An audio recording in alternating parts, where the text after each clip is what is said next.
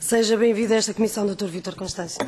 Um, quero quero colocar-lhe, em primeiro lugar, uma questão muito direta, que tem a ver com os lucros do BCE.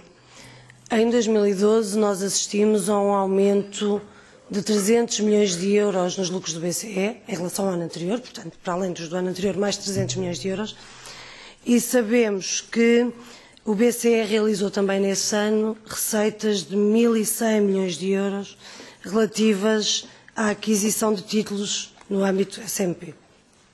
Portanto, a minha pergunta é muito simples. A primeira é eh, de saber se não considera que é imoral que o BCE esteja a obter lucros às custas uh, de, da situação muito difícil que os países estão a enfrentar.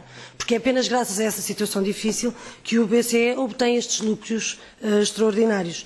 E, portanto, o que nas, na prática nós estamos a assistir verdadeiramente é uma transferência financeira de um Estado-membro em dificuldades para a generalidade uh, dos Estados-membros. Ou seja, exatamente o contrário da retórica da, da solidariedade. E gostaria de saber a sua opinião sobre isto.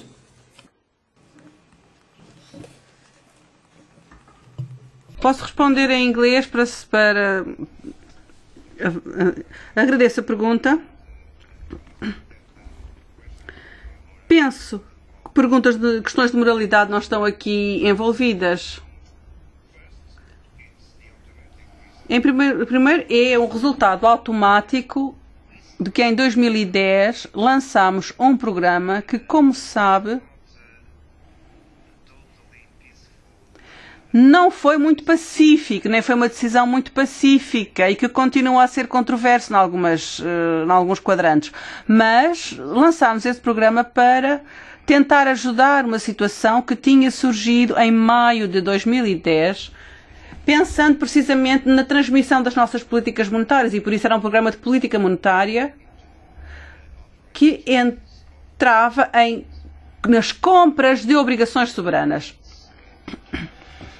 Eram contratos que havia que exigiam alguns pagamentos de juros e o que está a ser pago pelos países não são os rendimentos que estão agora no mercado, que estavam no mercado. Nós nunca recebemos os altos níveis taxas de juros que estão no mercado. Aquilo que nós temos do emitente é uma taxa de emissão que é muito mais baixa do que as taxas de mercado que já é um elemento de resposta à sua pergunta. Não estamos a tirar partido da crise ou do, do, dos, do, das condições de mercado ou do stress dos bancos e que envolvem agora a dívida soberana desses países. Era só o que estava no, no, no contrato inicial de emissão. E sempre dissemos que relativamente a um dos países do programa, a Grécia, quando os Estados-membros decidiram que poderiam devolver à Grécia os lucros dos seus bancos centrais com o SMP, neste caso os, as obrigações da Grécia, nós, BCE, dissemos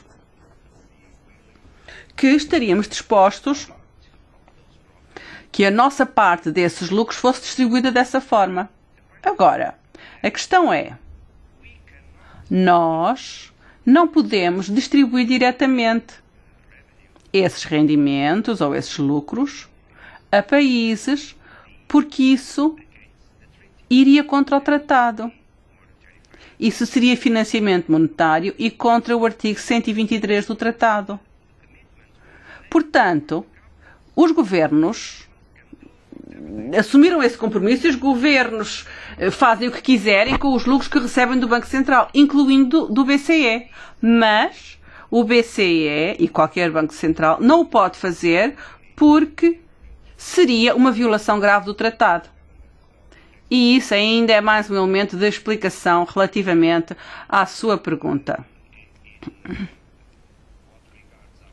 E relativamente à nossa atitude e à nossa disponibilização, isso ficou claro no caso da Grécia e outros casos que os Estados, em que os Estados-membros decidiram fazer o mesmo a outros países. Muito obrigada.